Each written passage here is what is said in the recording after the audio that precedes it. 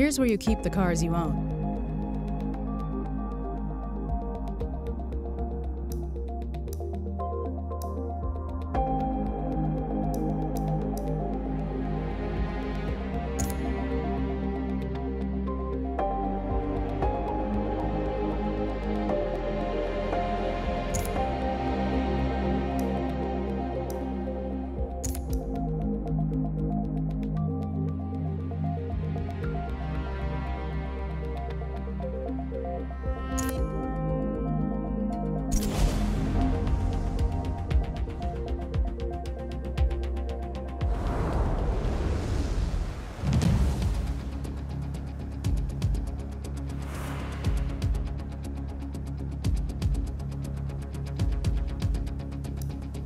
After the permanent road course was completed in the 1950s, among so many other race series, Watkins Glen hosted the prestigious Six Hours at the Glen endurance race starting in the 1960s.